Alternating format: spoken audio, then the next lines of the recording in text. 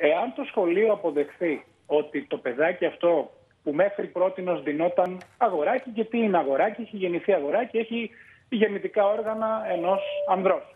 Εάν υποθέσουμε στο σενάριο αυτό που μέχρι στιγμής το επισκέπτεται το σχολείο, το αγοράκι αυτό, με αντρικά ρούχα, ναι. ξαφνικά εμφανιστεί με γυναικεία, το πρόβλημα που θα υπάρξει δεν είναι μόνο στο πώς θα πρέπει όλοι μαζί εμείς να αγκαλιάσουμε αυτή την θέληση αυτού του παιδιού, αλλά και στα υπόλοιπα παιδιά.